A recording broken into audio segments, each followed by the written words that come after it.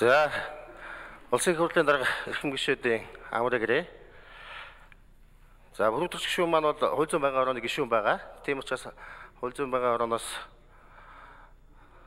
энэ байнгын орооны танилцуулгыг хийхээр бас хурлаа шийдвэрлэгдсэн байсан гэдгийг бас энд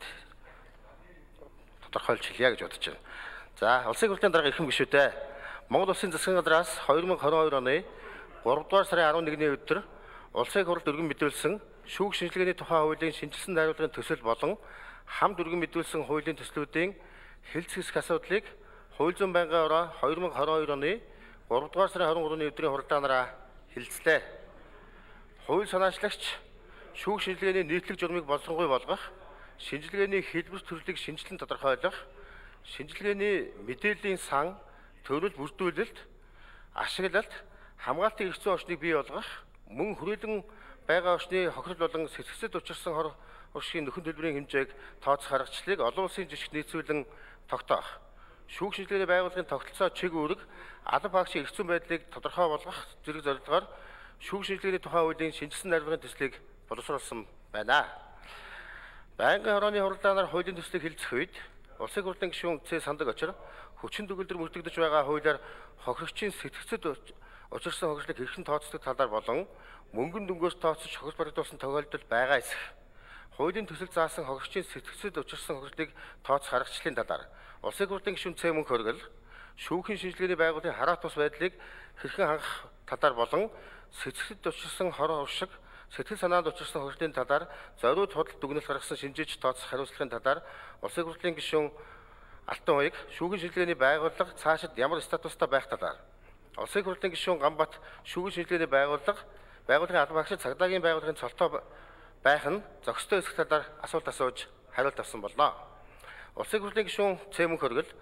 хохирогчийн сэтгэл санаанд учирсан хохирлыг тооцох зохицуултыг анх оруулж ирж байгааг дэмжиж шүүхэн шинжилгээний байгууллага нь хараат тус шинжилх ухааны байгууллага байх талаар мөн сэтгцэд учирсан хор уршиг сэтгэл санаанд учирсан хохирлын талаарх ойлголтыг хэлцүүлгийн явцад наривчлан зохицуулах талаар Улсын хурлын гишүүн Алтан хуйг шүүхийн шилжээний байгууллагын хараа тус байдал болон цаашид олон улсын итгэмжлэгдсэн байгууллага болоход анхаарах. За мөн байгууллага албан хаагчдын чадвархын талаар улсын хурлын гишүүн Дэ Гамбат хуулийн төслийг хилцгийг дэмжиж шүүхийн шилжгээний байгууллагын хараа тус ажлах нөхцөлийг бүрдүүлж чадвархыг нэмэгдүүлэх зүйтэй талаар санал хэлсэн боллоо.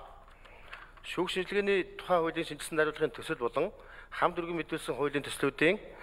Үзэл баримтлалын хүрээнд хилцгийг байнгын орооны хуралдаанд оролцсон гишүүдийн олон хуйуу 63.6% дэмжиж улсын хурлын чуулганы нэгдсэн хуралдаанаар хилцүүлэх нь зүйтэй гэж үзсэн болно. Улсын хурлын эрхэм гишүүдээ шүүх шинжилгээний тухай хуулийн шинжилсэн найруулгын төсөл болон хамт иргэн мэдүүлсэн шүүхийн шинжилгээний тухай хууль хүчингү болсон тооцох тухай иргэний хуульд нэмэлт өөрчлөлт оруулах тухай иргэний хэрэг шүүгд хянан шийдвэрлэх тухай хуульд өөрчлөлт оруулах тухай